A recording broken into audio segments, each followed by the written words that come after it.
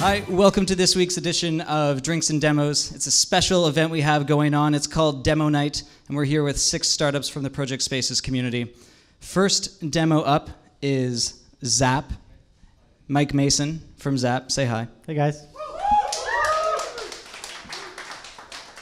Have you all downloaded Zap out there? Yes? Okay, so you can be using it Nice. as you go. So, Mike, what is Zap? Uh, okay, so Zap is a, a neat little tool that sits on your iPhone that helps you discover more about the people that you meet. Uh, so we used to traditionally do this uh, using maybe a piece of paper that would be two and a half inches by three inches. Uh, now, given the number of social networks that we uh, interact with people on and the amount of information that we need to pack and send to people, uh, we figured we would kind of switch things up. Uh, and the result was what you're going to see tonight. So, what's your story, Mike? You were born, now you're here. What happened in between? Um, so I uh, have been working with with in some capacity with startups for the last five years. Uh, I've worked for a lot of different entrepreneurs, uh, anywhere from the idea phase of a startup to 60-person companies trying to solve scaling issues for CEOs. Um, I started off as a as a kind of growth guy, doing traditional marketing stuff like AdWords and SEO and content marketing for uh, an entrepreneur in Halifax, Nova Scotia, uh, in the oil and gas industry, doing a kind of like a web app for action tracking.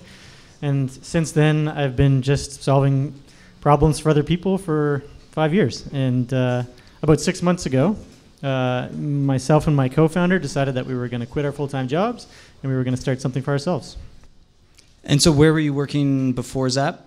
So my last job uh, was uh, building up a publishing business for a mobile gaming company in Ottawa. So uh, I worked. I started off as a project manager in that in that company. I worked on games like the New York Times crosswords app, which would take your crossword puzzle that would appear in the New York Times paper, but it would deliver it to your iPhone or your iPad. Uh, I worked on games like Mattel's Phase 10 and Skipbo, the official Rubik's Cube app, if you've ever, ever played that on your iPad or your iPhone. Um, and then I did that for two years before I uh, decided to start doing this. Well, and you'd say it was that experience. There was this one specific pain point that you were down, I feel, at a conference, I think the story went. Yep. And that's when you realized the opportunity that Zap has. Yeah. So uh, the pu- if you're in mobile gaming publishing, the the experience is very similar to building a startup. So uh, maybe one in every 10, 10 games that you build will be a success, just like a startup. We had, were trying to de-risk our development studio. We were building games and we were shipping them. Sometimes they would be financially successful, sometimes they wouldn't. Uh, the de-risked version of that business model is a publishing business. So I would go to conferences all over the world and meet developers that were making great games that fit in within our content niche. Uh, I would try to convince them to uh, come in, uh, meet with us, talk about their game and whether we could distribute that content for them on RevShare. Um, and the biggest thing, if you're a salesperson or a biz dev role, and you're meeting people at scale, it's very, very difficult to then get those people in some kind of software like a CRM tool that you might use in your day to day. So that's where the idea was birthed. Okay, do you want to show me? So, you have some new features that are coming out here. Yeah, so this is you guys are getting a sneak peek. It's exclusive. Uh, we just shipped it today. But it's meant to be uh, the CR, the extension to your CRM for when you're on the road. So if any of you are in sales roles, you'll know that you use a customer relationship management tool. Uh, you'll collect leads. You'll put them in the top of your funnel. You'll put them through a deal flow process. Hopefully, at the at the tail end, you'll make some money off of them. Uh, we sit at the beginning of that funnel. So um, these are people that I've met. Um, if Jeff's beside me and he has the app, uh, he single signs on with his preferred social method, and he can add details to his business card. Uh, he can change what it looks and feels like. Here's Toronto. I can be in space. I like being in space. Uh, and if Jeff flicks his card, we use beacon technology to understand where he is and where I am, and it's kind of like a bump experience, right? This is what we went to market with. Um, I receive his contact details. I store them. Uh, I can search kind of more about what, what he's up to and what he's been saying online. Now, uh, the more recent version is something that we think is uh, pretty powerful. And if any of you use Rapportive or any of these kind of like Gmail uh, attachments that help you understand more about the people that are emailing you, uh, that's kind of what we're trying to do now. So, um, everyone knows Elon Musk. I don't know if any of you know his email, but I figured it out. Um, so we can actually go just based on meeting someone, and we can enter their email if you ask them for it, or if you get it from their business card. We can look up that person. Just trying to pull up my email. Um, figure out where they work.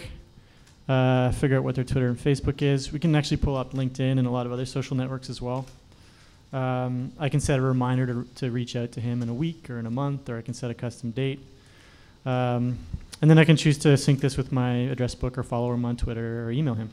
We started in 2014, so November 24th. Uh, it was me and Liam just kind of working part time before that uh, while we had full time jobs.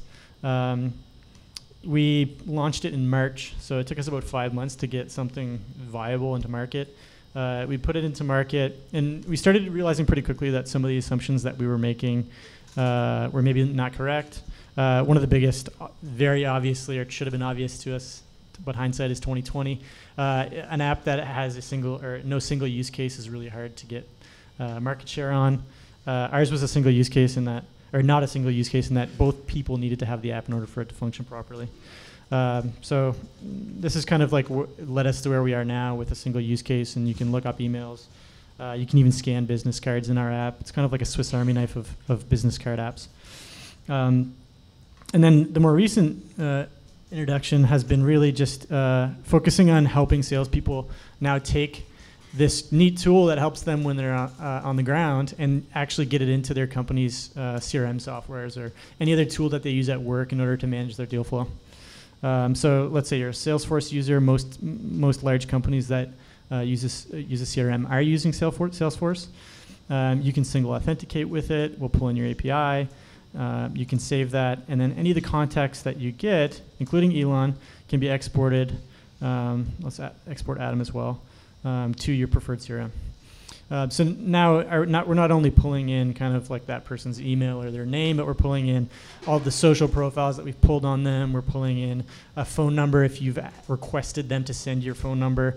Uh, and the beauty of this, and this is, uh, uh I think, one of the, the most powerful pieces, is that if Adam uh, ever changes his personal information, then and he uses Zap as his personal companion or his, his business card, it'll update automatically. So you don't have to worry about your data getting stale. It'll always be, be up, up to date and relevant. And so, because we're in Canada, how are you going to make money? That's a good question. So, uh, the economics that we see working for this is very similar to the New York Times crosswords. So, the New York Times crosswords has a really simple uh, use it up to a certain point, uh, and then a monthly subscription will get you the actual puzzle and a bunch of advanced features. Uh, we think that um, out of the box, this tool is really helpful for people. It's solving a problem that, you, that, that people would pay a monthly recurring fee for if we gave them extra features like more lookups and more syncs with their CRM. Um, we can build the individual salesperson on a, on a month-to-month basis at a really small fee, or we can kind of scale and build more enterprise tools into this uh, and sell it directly to the company. So direct to enterprise. All right, everybody, big round of applause for Mike and Zap. Thanks, guys.